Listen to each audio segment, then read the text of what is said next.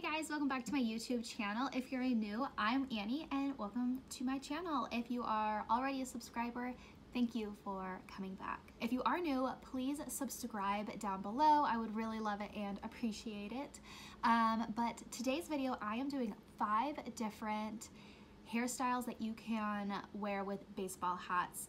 Now they're probably like, some of them are like, okay Annie, everybody wears a ponytail with their baseball hat, but I have like a few tricks that help me achieve it a little bit different or just like hold it better in general. So if you are a hat lover or if you haven't washed your hair in five days, maybe it's time for you to watch this video. So let's just get on into it. Okay, so for this first hairstyle, it's gonna be a super simple ponytail, but my recommendation is to use one of these little Invisibobbles.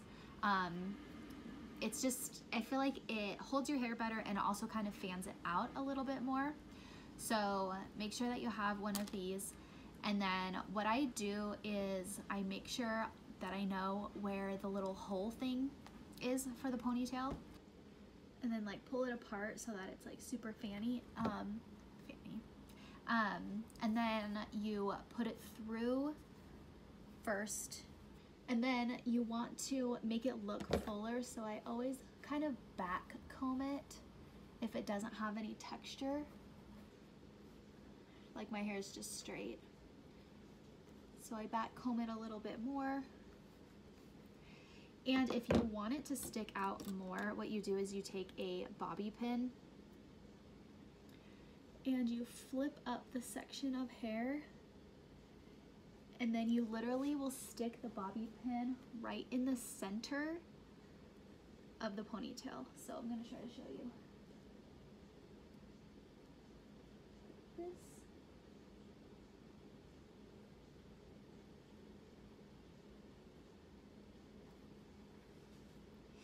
And then it helps it, I don't know how it does it, but it just helps it, I think it because it helps it like spread out more. So it's just kind of like a more, whatever.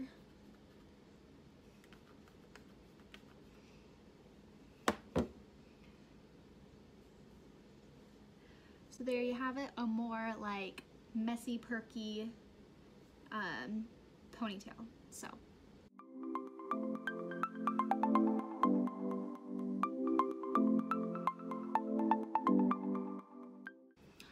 Okay, so for the second hairstyle, we are going to do a bun, but you're gonna use your bobble once again.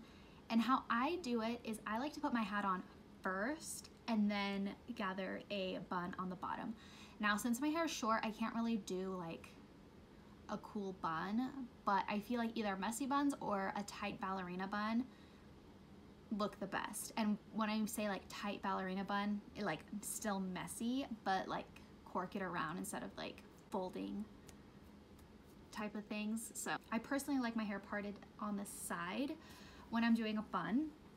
So I'm gonna stick it on and just kind of like where my hair falls naturally. That's where I'm going to like leave it.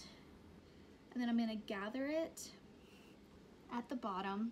Like this, I mean, it's a bun, like whatever, you know? And then it's just in like a little bun. Sometimes throughout the day it pops out, but it's just, it's kind of whatever.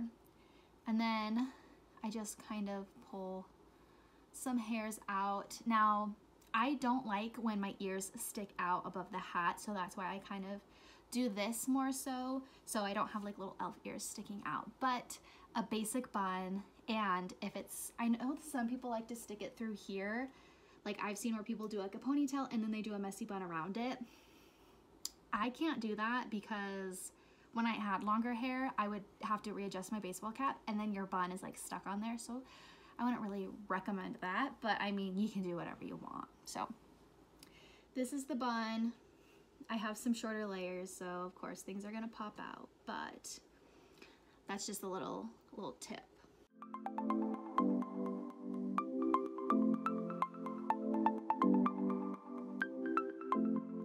Third hairstyle, um, what we're gonna do is do little like space buns down here. Um, so start by splitting your hair down the middle. Okay, So now we have that.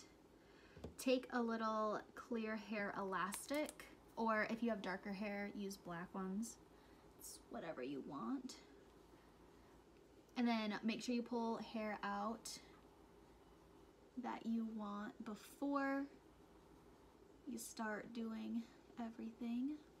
Okay, so now what you're gonna do is twist away from your face and then coil it up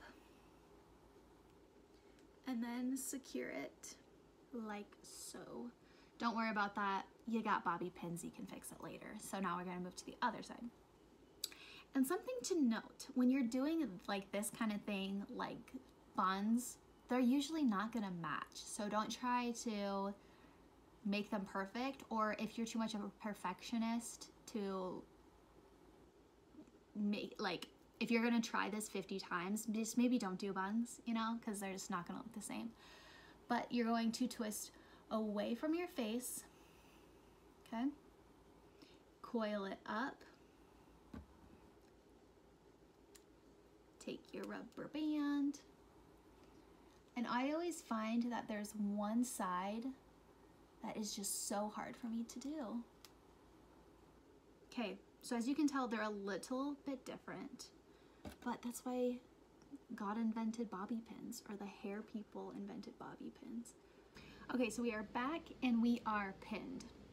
So then this is the second hairstyle. It's more of like Princess Leia if you have them up here. If you want to, you could put them down a little bit lower, but I like them this size, so this size this way. So.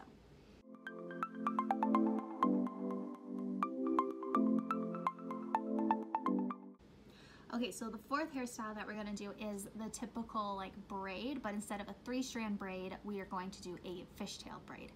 Now my hair is a little too short to do this, so I'm gonna leave some pictures of what it should look like if you have longer hair. Split your hair down the middle. If you don't know how to do a fishtail braid, stay tuned because it's actually really easy. Okay, so for a fishtail braid, all you do is you split it in half. Okay. And so this will be section one, this is section two. So from section two, take a back section and then cross it under to section one. And that's your first stitch, okay? Then from section two, cross the front, give it to section one, second stitch, okay? So what you wanna do is it kind of, if you want it super intricate, you need to take smaller sections and it will kind of not take a long time, but it can take a while. But if you don't care, so then take a section from the back. I twist to like transfer it. People's fingerings are different but practice makes not perfect, but progress, you know? All right, so this is all the length that I can really do. So we're gonna tie it off. And we are going to loosen the braid so that it's not so like sticky outy, okay? Now do the other side. Okay, so now you look like a little schoolgirl. Just pop your hat on.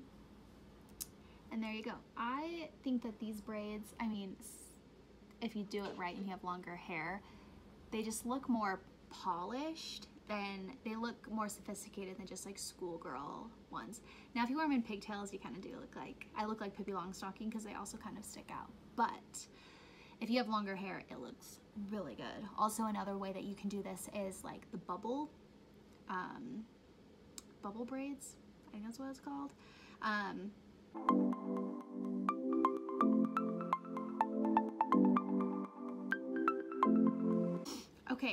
and the last one is obviously like wearing your hair down. I have mixed feelings about this. You can wear your hair straight if it's full enough. If it's stringy and like first day hair where it's too shiny, it's not gonna look good. It needs to have body and it needs to have volume to it, whether that's like you naturally have thick hair or you tease it a little bit or you give it a slight bend, you sleep in braids the night before, you wake up and it's a little crimpy. It needs some texture or fullness, some body to it, just not pinned straight all the way down.